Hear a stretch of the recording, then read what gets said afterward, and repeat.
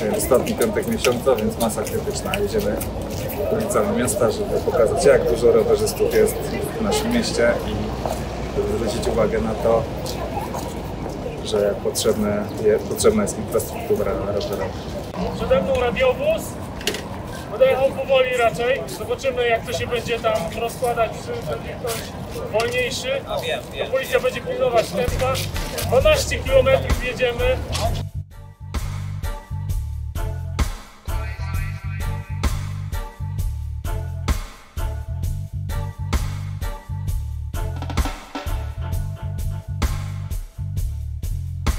Governamentos trapindecistas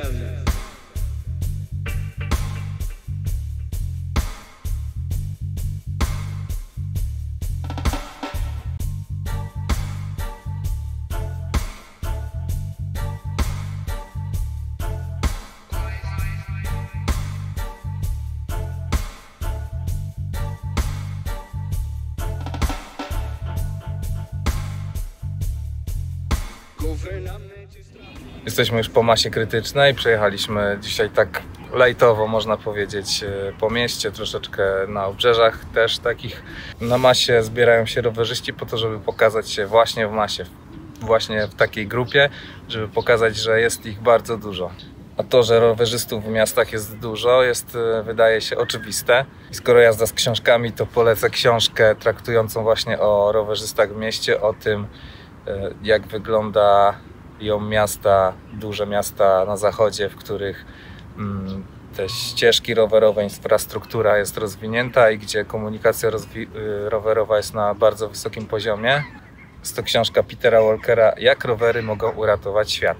I tytuł może wydawać się dosyć taki mocny, jak mogą uratować świat. Czy w ogóle mogą? Możecie się przekonać czytając tę książkę.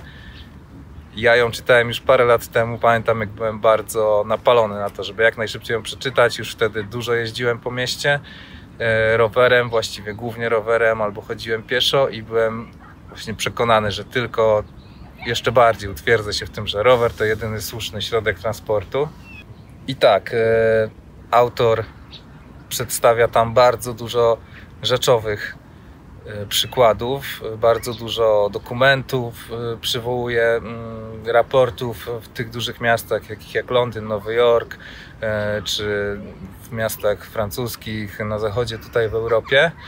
Przywołuje statystyki, które dotyczą i tego, jak dużo jest rowerzystów, jak rozwinięta jest infrastruktura w danych miastach, co trzeba poprawić, co nie, ale też e, pokazuje, jak jazda na rowerze wpływa na zdrowie, jak e, wpływa na środowisko e, i jak e, generalnie infrastruktura, rozwój infrastruktury rowerowej i transportu rowerowego może poprawić jakość życia w miastach. Że jeżeli jesteście ciekawi, to serdecznie polecam. Myślę, że to lektura obowiązkowa dla wszystkich rowerzystów, którzy poruszają się e, po miastach dużych, małych. E, Bardzo fajnie napisana e, książka. Autor jest reporterem, e, więc fajnie tak reportażowo, ale też rzeczowo napisana pozycja.